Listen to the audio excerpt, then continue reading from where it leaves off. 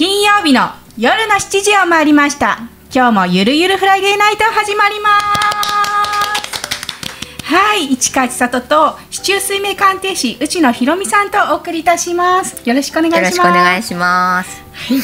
毎週金曜日の夜の7時から7時半までお届けしてます。番組はアロタイストレッチ暦の流れ星の流れ体のこと心のことパワースポット巡り美味しいご飯屋さんや夢がある人たちとお話ししたいなと思う番組です。さてね昨年からはい。ね市中水明でいろんな人を鑑定してまいりましたが。そうですね、うん。はい。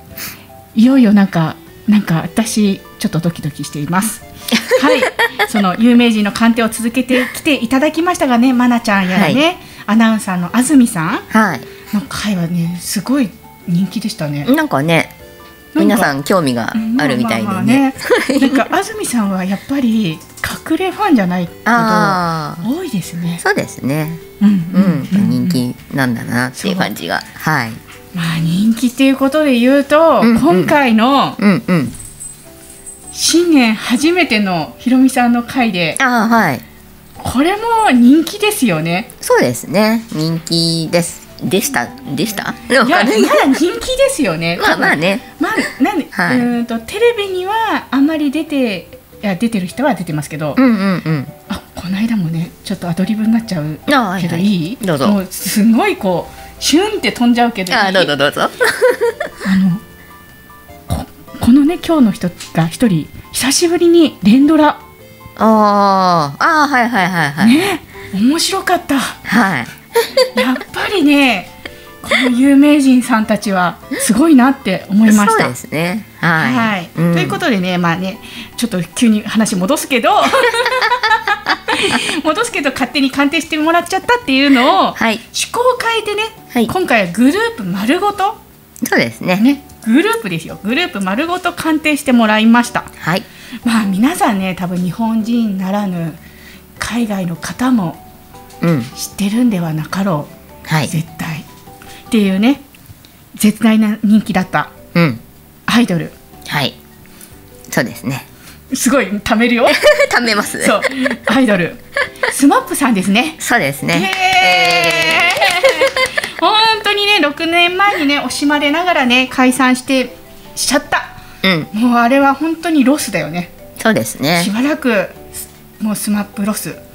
まさかの展開でしたうもん。ね本当に本当に。はい。で、その中で解散劇とかもね、うんうんうん。あっていろんなことがありましたが、うんうんうんうんせっかくなんでね、今日はね、いろんなことを占ってもらっちゃったり、あの鑑定してもらっちゃおうかなと思っております。そうですね。そこから読み解けるのかなってちょっと勝手に思っているうんうんうん。感じでございます。わかりました。はい、はい、えー、そうですね。えっ、と最近もね、うん。あのスマスマの放送作家だった鈴木おさむさんのね、なんか解散に関わるこう描写を描いた小説が話題になったりとか、うんうんうんあと後輩グループがね、なんか今に人気絶頂で3人抜けるとかっていう話もねうん。あったりとかして、うん。なんかちょっと SMAPのねあうん。の解散劇、デジャブで思い出した方も多いかなっていう、はい。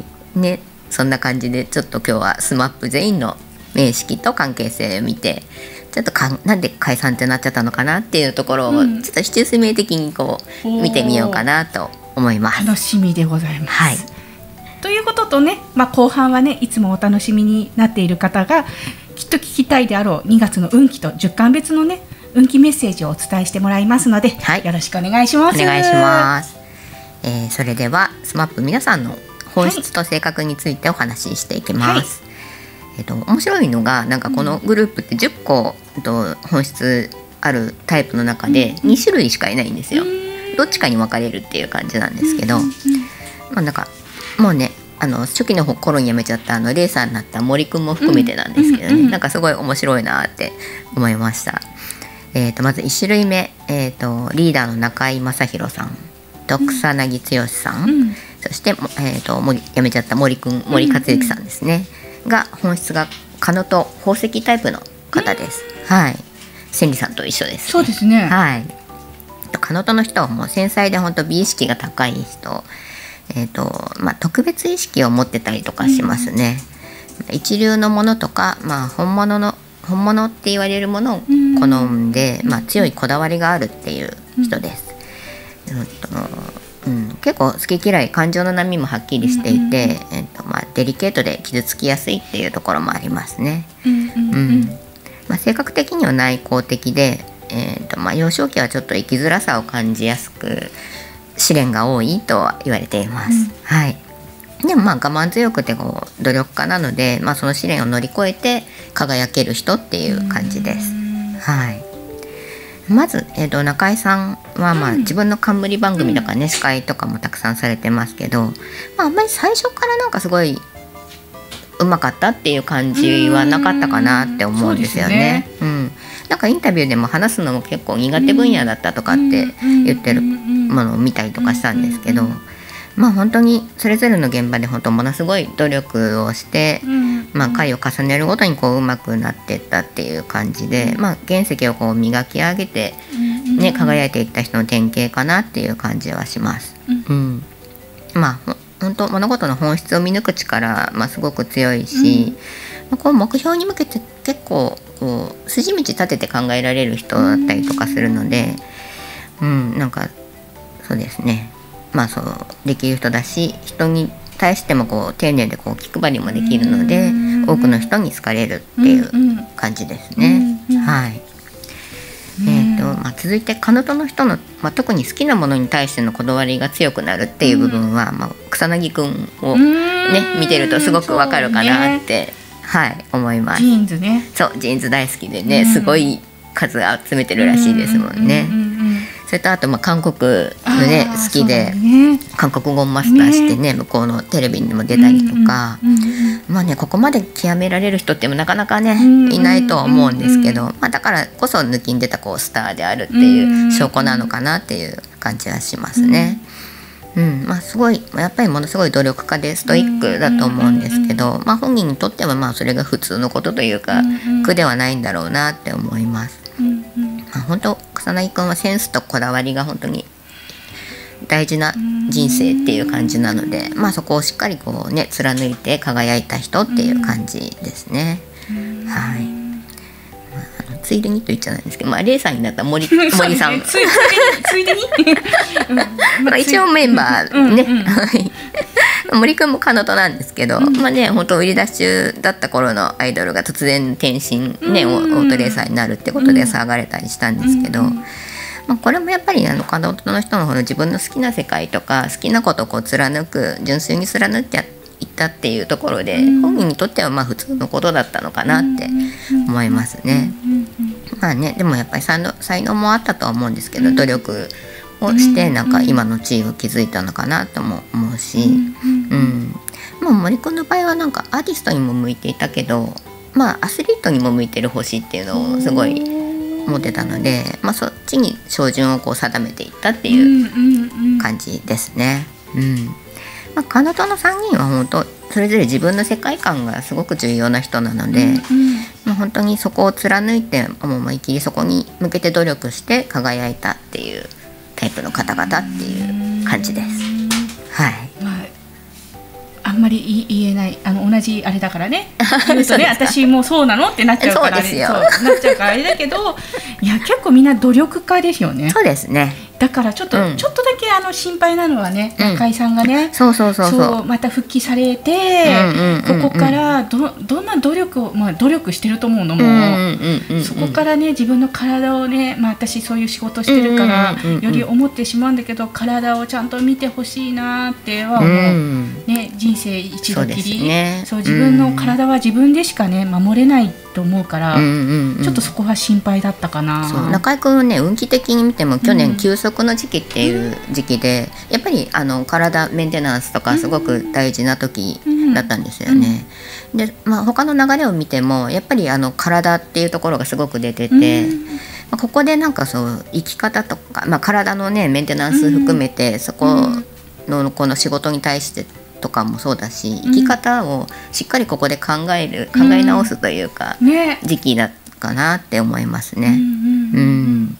まあなんか草薙さんはなんかどっちかっていうとひょうひょうと、うんうんうん。なんか淡んとしてそうな気がするから、うんうんうんうん。まあ大丈夫かなと思ってるんで、うんうんうんうん。勝手にね 勝手に思って。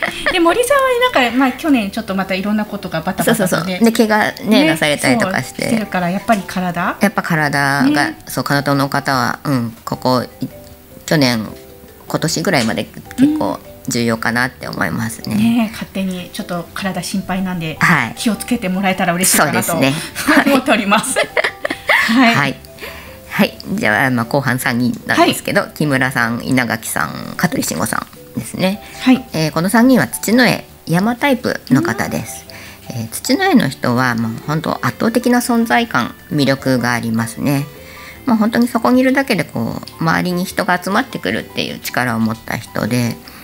まあ、山なので、こう、ドーンと構えていて、めったなことではあまり動じないんですけど。でも、なんか動く時は結構大胆にドーンって動くっていうところがありますね。うん、そしてあまあ物事の中心人物になりやすくて本人もそれを望んでいるっていう感じです。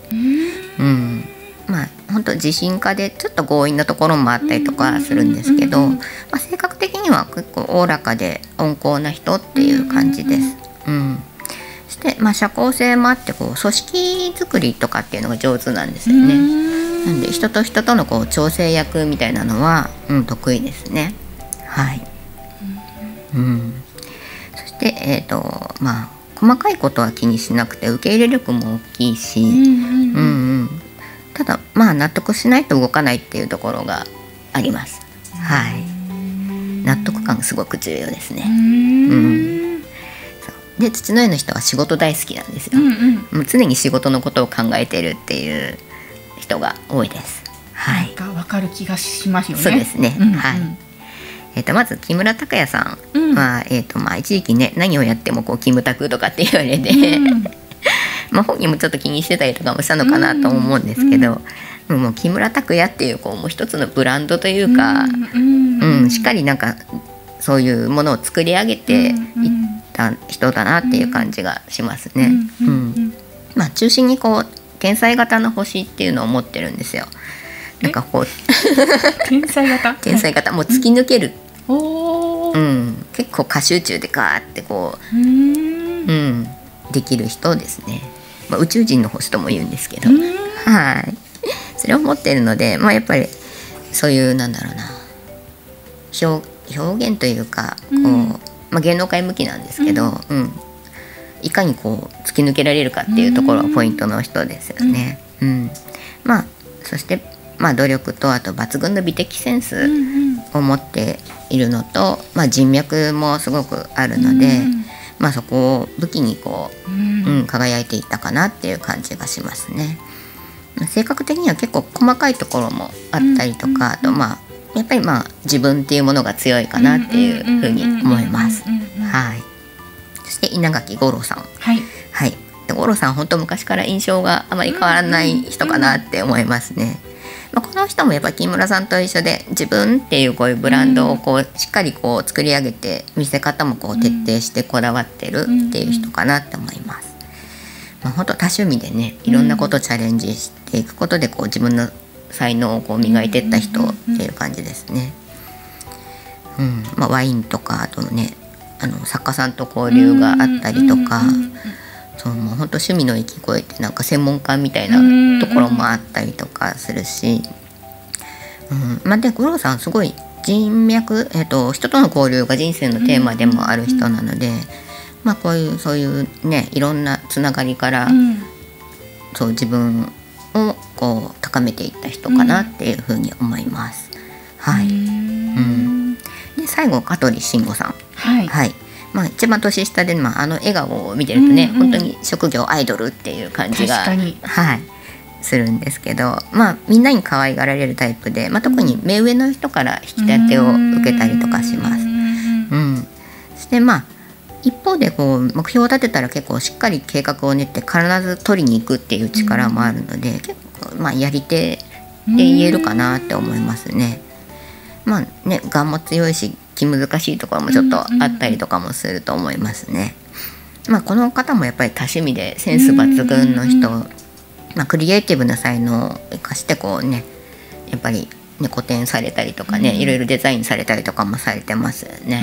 ううんんまあアーティストタイプっていう感じですうね。んいはい。やーねう、んうんうん。なんか、まあ、キムタクはいまだにキムタクだよね。うん。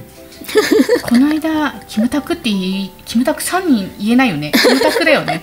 キムタクさんは キムタクさんはってなんかちょっとなまっちゃう感じになっちゃうもんね。この間ね、あ信長のああはいはいはあい。れすごかったね。すごかったですうね。ん、すごかったし、五郎さんもね、なんかいろんな映画、ちょっとこう複雑な。ちょっとこう心情がこうなんていうのかな、うんね、エロティックなって言ったらあれなのだけど。すごいいろんな映画にも出られてたりとかすうんるし、ううなんかうんやっぱりちょっとだけなんか五郎さんが昔なんか噂噂だけど、うん。このスマップは真ん中が五郎さんだったっていうね。もと。もと中心がね、うーん。キムタクさんとかはうんうん。こう、ま、真ん中じゃなかったんだよね中井さんとかね確か。確か昔々うんうんうん。デビュー当。時だからなんか中心人物って言われるねなんか当たってるなってうん、なんかわかる。うんね、人と人やっぱね人,、み人流？あの人人脈がうん。テーマの人だし、ね。うん。なんかみんなをつなげているうん。いく人っていう感じもありますよね。はいはい。ね、そういう、まあ、あの彼女で原石を磨いてこだわりと努力で輝いた中井くん、草薙くんも、まあ、森くんと、うん。まあ、もともと持ってるこう圧倒的存在感を生かして、さらに輝いた木村くんうん。稲垣くん香取くんうんですね。えっ、と彼女は金うん。で土の上は土なんですよね。これ総称の関係で、まあ、全体的な相性もいいですし、うん。まあ、28年もね続いたってことは、うん。まあやっぱりねうん。絶妙なこうバランスをとって、うんうん。うん持って。まあ、個々も輝いてたし、うんうんまあ、相乗効果がで本当に圧倒的な存在感を得たグループだったかなってうんうん。思いますね。うん。まあ、惜しまれながら結局解散っていう結果になったわけなんですけど、まあね一番は所属事務所のこう内部事情とかに巻き込まれたのかなっていうのが本当のところだと思いますけど、まあ、こうスマップのねマネージャーさんだった方が出ていくのにこうついていくかいかないかっていうところでね。まあでも今回はちょっと市中水面の関係性でどうしてっていうところをちょっと見てみようと思います。えー、とまず、まあ、香取慎吾さんですね、まあ、この人はあの陽っていう赤ちゃんに例えられる星が仕事運のところにあって、まあ、みんなに可愛がられるんですけど、まあ、特に目上からね引き立てを受けることで伸びていくっていう人なんですね。まあ、だからまあ自分をきちんと評価してくれる分かってくれる人についていっていった方がいいっていうのを、まあ、結果的にまあ絶対的にこう分かってるっていうところがあるので、うん。そそうしてですね。ねまあだからやっぱり自分をしっかり評価して育て上げてくれたマネージャーさんについていったっていうのは、まあ当然だったのかなっていう感じはしますね。うん。そう。でまあそして香取さんとこう一番仲が良かったっていう草薙剛さん、うん。まあ、相性を見てもやっぱりスマップの中でもこの2人の相性ってすごくうんいいんですよ。まあ、一番お互い分かり合える好相性っていう感じなので結びつきがやっぱり強いかなっていう思いますね。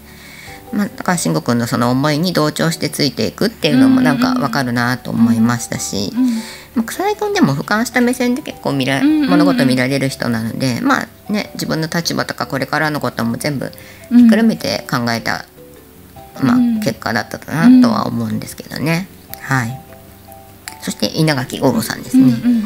この方ももう、まあ、香取さんと同じ陽の星を持っていて、まあ、特に人脈が人生において本当に大切な方なんで、まあ、やっぱりこれまで自分を評価してくれて支えてきてくれた、うん。まあ、元マネージャーさんについていくっていうのはまあこれも自然な流れだったのかなとは、うんうんうん思います。うんうん。はい。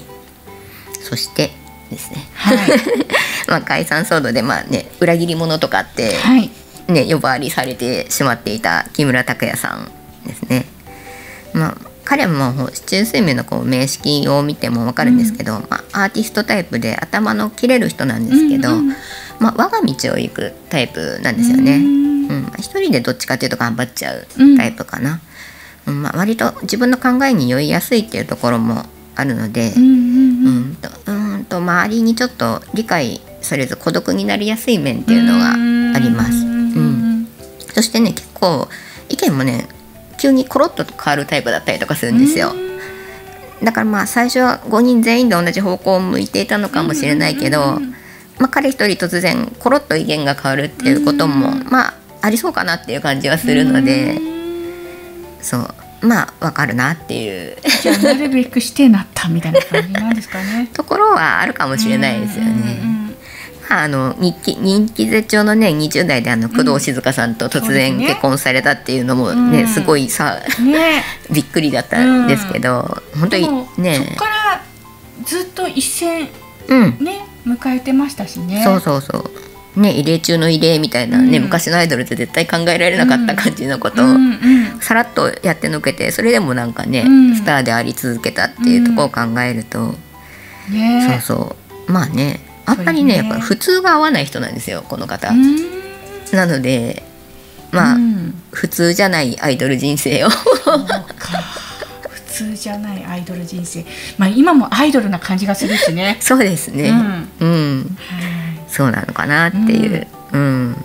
まあね彼もやっぱ SMAP は大事に思っていたうん。と思うし、まあ、続けていく道も模索されてたは思うんですけど、まあ、こう自分とアイドルとしてのこの美学というかね、うん道を貫けるのはどこかってなった時にまあやっぱり木村さんが考えたのは事務所に残るっていう選択だったのかなっていう。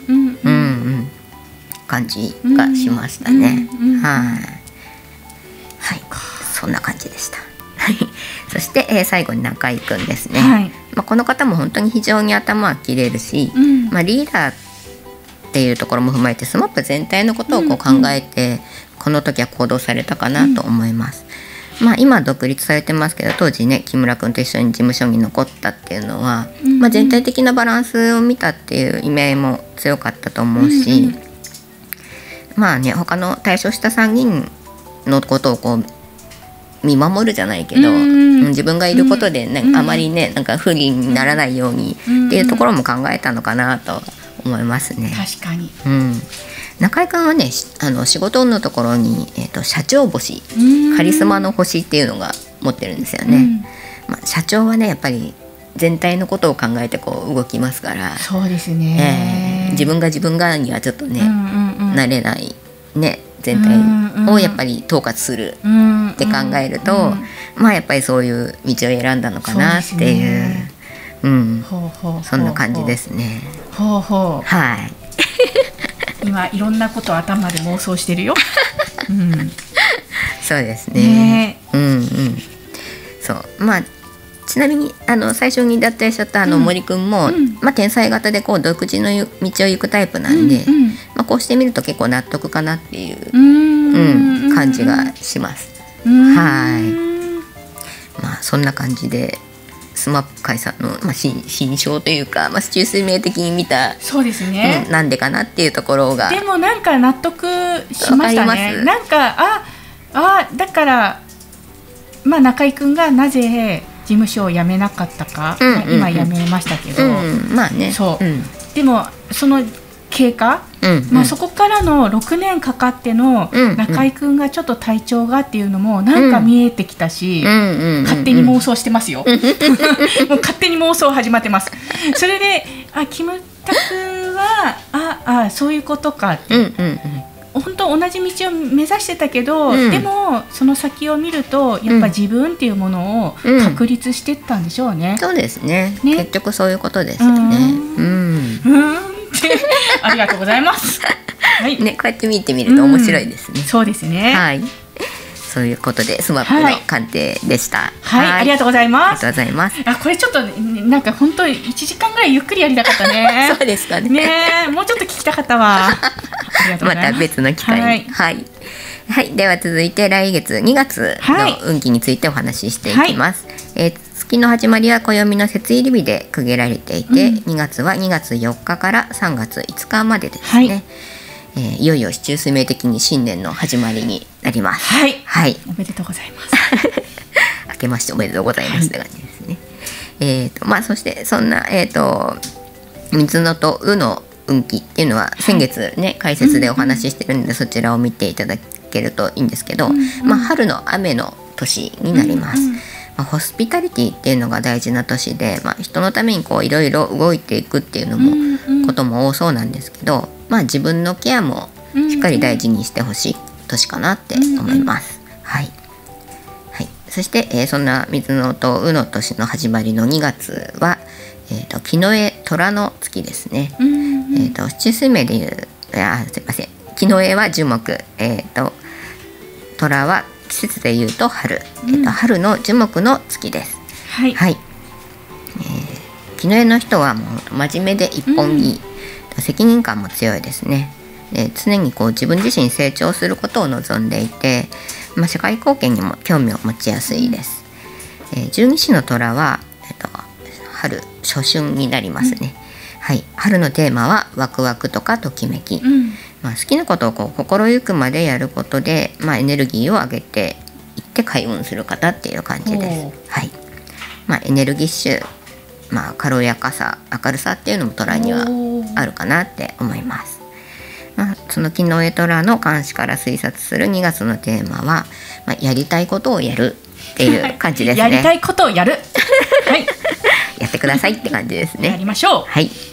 まあ本当に自分がね 心からやりたいことをう。うん。力入れてやり始める時っていう感じですね。